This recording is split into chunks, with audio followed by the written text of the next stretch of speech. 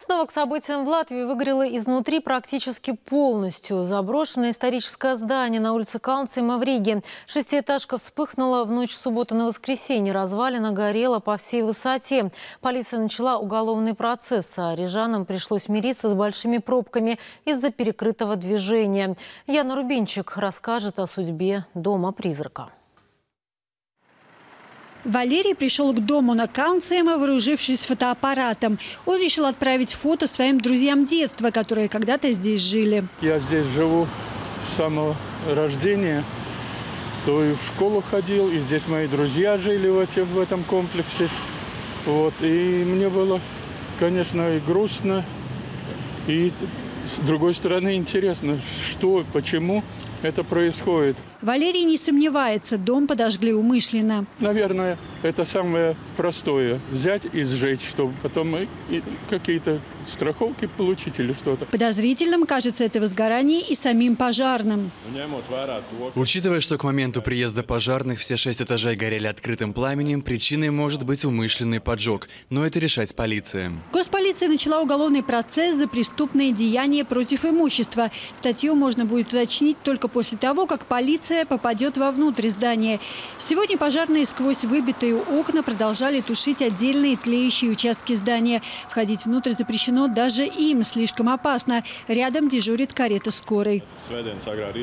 Ранним утром в воскресенье незадолго до четырех мы получили вызов на улицу Каунциема, где горел заброшенный шестиэтажный дом по всей площади. Тушение затрудняло то, что у дома деревянные перекрытия. Они во время пожара обвалились с шестого до второго этажа. Потому ради безопасности решено было тушить его только по периметру.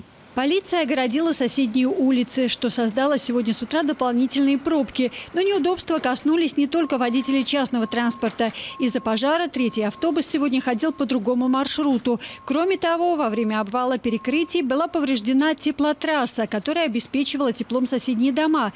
Потому в течение всего дня техники Рига Силтумс проводили временные трубы прямо поверх земли, чтобы можно было подключить тепло в окрестных домах. Да, чему здесь удивляться, этот дом, все время от него проблемы. Камни падали все время сверху. Ну и тут разные личности собирались. Эти кадры сняты в мае этого года. Выездное заседание имущественного департамента Рижской думы. Эксперты признают историческое здание опасным и принимают решение о принудительном приведении его в порядок, в том числе ограничении доступа к нему. Несколько месяцев по заказу Рижской думы рабочие замуровывали окна и двери первых этажей, а также поставили со стороны двора металлический забор. Вот только калитку так и не установили, так что в здание по-прежнему можно было попасть через двор. Дома на ранте Дамбиш-14 и Канцема 2Б построены в 1913 году. Их автор – известный мастер югенстиля, архитектор Эдгар Фризендорф. Ян Рубинчик, Валтер Зелч, Латвийское телевидение.